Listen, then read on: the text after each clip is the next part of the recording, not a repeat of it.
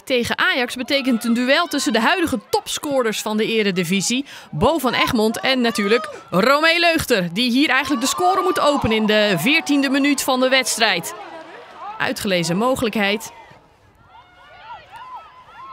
En een uh, beetje geluk.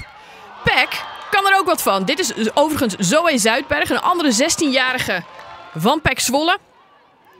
En een uh, grote kans voor PEC, de nummer 5, om uh, zomaar op voorsprong te komen tegen Ajax. Dit is weer uh, Leugter. Op slag van rust maakt ze haar topscorer titel waar. Het is de zevende van het seizoen. Ajax verdient op voorsprong. Wurmt zich langs de verdediging. Omspeelt Inge Tijink. Die is net te laat. En ook uh, Lindner kan de bal niet meer van de lijn halen. De tweede helft geeft Pek Zwolle zich zeker niet gewonnen. Sterker, het komt op gelijke hoogte. Zo is Zuidberg. In de eerste helft was ze al dichtbij. En nu op aangeven van Dijsselhof trekt ze de stand gelijk. Weerde te laat om te verdedigen. En uh, Peck op gelijke hoogte. Vijf minuten later, Chastity Grant legt het balletje opzij en dit is prachtig hoor.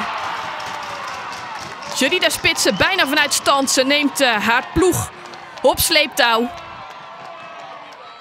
Ajax weer op voorsprong. Laatste minuut van de officiële speeltijd. En dit had uh, zomaar weer een gelijkmaker kunnen zijn. Voor uh, Evi Maatman in de ploeg gekomen in de tweede helft. Ajax nog altijd op voorsprong. Nog een keer, schot van afstand. Van Eyck op de juiste plek. Kemp had uh, een punt kunnen binnenslepen voor Zwolle. Maar Ajax uh, gooit de wedstrijd in het slot.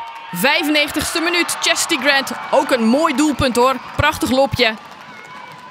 Ajax wint verdiend bij uh, Pek Zwolle met 3-1, maar moest er hard voor werken.